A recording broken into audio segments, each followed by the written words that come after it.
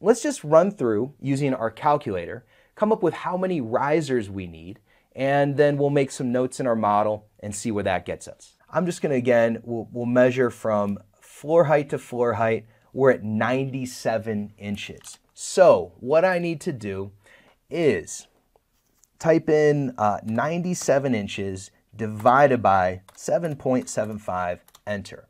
That comes up with like 12 and a half risers. Well, we can't really do a half a riser. We got to round up. This is going to be the steepest stair allowed by code. If we round up just a notch, it's going to be a comfortable stair. Let's call this one 13. I'll activate my label tool, uh, text tool, whatever that's called, and we're going to say 13 risers, like that. All right, the next floor height is going to be 121.875. All right, so 121.875 divided by 7.75 brings us to 15.72. We're going to round that up to 16. So I'll just throw a note in there at 16 risers like that. All right, and then our last uh, floor height. From finished floor to finished floor, we're talking about 110. 110 divided by 7.75, enter. That's going to be 14.19. So let's just call that 15. So I'll go over here and type in 15 risers. In here, we're going to go down to the basement. Now, uh, this one you can see I put a note on the drawings to be 48 inches clear. So let's just get a reminder of that. I'll type 48, enter. All right, so basically our first stair, I'm going to measure back uh, into uh, back into the 48 inch offset there. The first uh, tread that I'm going to make is not actually going to count. That'll make more sense in just a moment. All right. So let's just draw in our, uh, let's see, this is going to be 48 comma 11, enter. Everything should be a component and I'll create that. All right, so now we're good to go. And you know what? I'm going to hide our field notes. Um, I'm going to turn off my x-ray mode in this way, and I'll hit Shift A. That's my uh, shortcut for my axes. Just clean that up just a notch. All right, so now what we want to do is make a copy of this tread up to our next floor, and then we're going to remember 13 risers, okay? So I'm going to make a copy using my move tool. I click once to pick it up. I tap control or option on the Mac to leave a copy behind. I tap the up arrow key to lock my blue axis. And all I gotta do is put my cursor on that other finished floor. That's at 97. Now I type in 13, divi 13 divided by, enter. So that gives me 13 divisions between those two copies. That just did the math for me. Like, look at what this is. Um, we're looking at 7.4615. What I need to do is select this bottom tread and make a copy to that corner, okay? So let me do that again. We're gonna pre-select it using the select tool. Using the move tool, I will just tap control, option on the Mac, click to place it, and we're going to do that uh, 14x enter. All right, I did one extra, my mistake, like that. Okay, and that's okay that we overshot.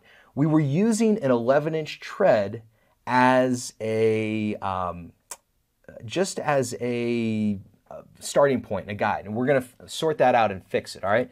I actually learned a really cool trick when it comes to nosing. So now these guys we don't need, this guy we also don't need, and this guy we don't need, all right?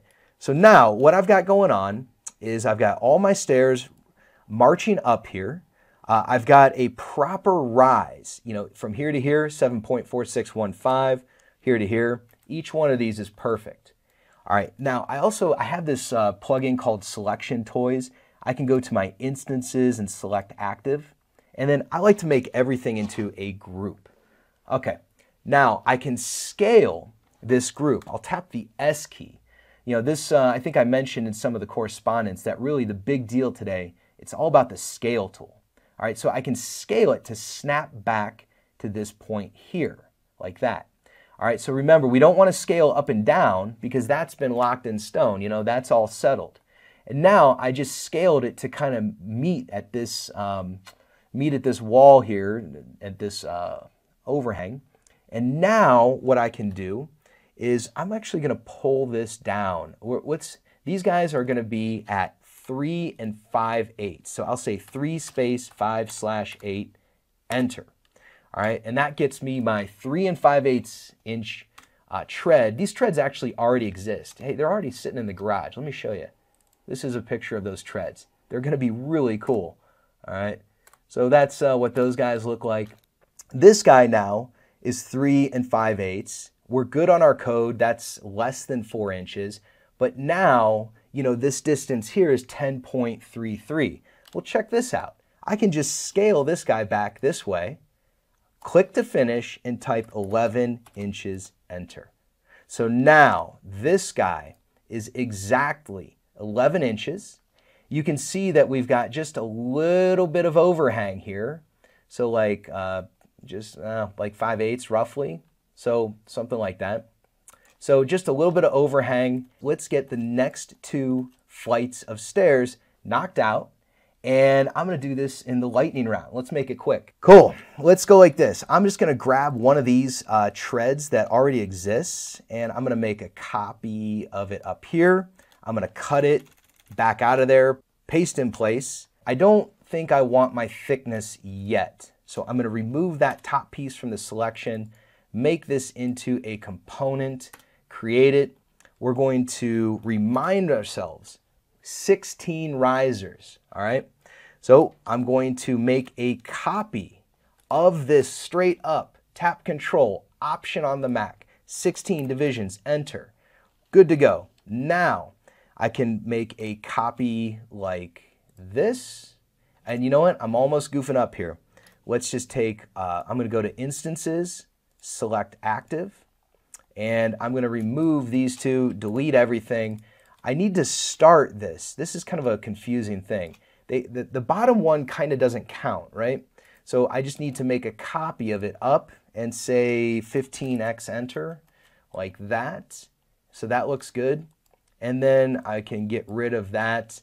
And now I need to select my instances and I'm just gonna group it, scale it, and stretch it over here. The information you need, the measurements that you need, the input you need is almost always on your screen already. I mean, once you get rolling, it's already there.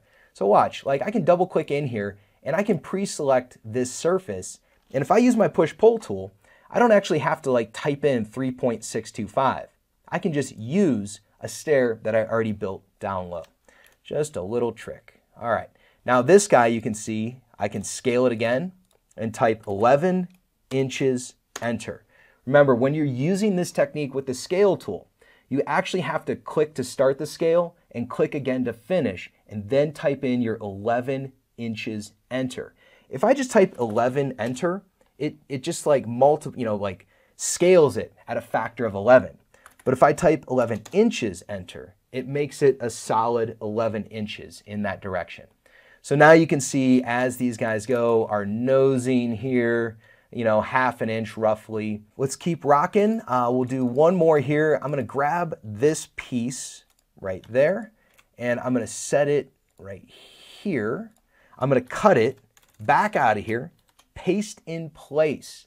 That's, I use paste in place all the time. Make this a component, create, unhide my field notes. We've got 15 risers here.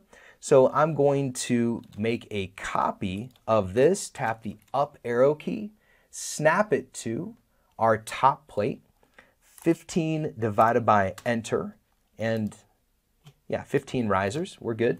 And then I'm gonna take this guy here and make a copy, and we're gonna call that uh, 15x enter. I can never get that right, ever get that right. That's okay it's always best to just overshoot, um, add an extra, and then you can uh, delete whatever you don't need. Uh, right click, uh, instances, select active, scale, and stretch this guy back over here. I'll make it a group, and now let's hop in. Let's use that same trick. Pre-select that surface, activate the push-pull tool, and pull that down. So now we've got all of our rise and our run adjusted perfectly. And just to kind of give a once over on what we got going on here, these, uh, this I did not adjust. Let me get that. So we'll scale this to 11 inches, enter. That, my friends, is how you get it done. If you haven't done so already, hit that like and subscribe button, and then follow me over to the full Stair Math Made Easy live stream recording. I kick things off with some drone footage of the actual stairwell construction, and I promise the presentation is packed with advanced tips and tricks specifically for architects and interior designers. I'll see you there.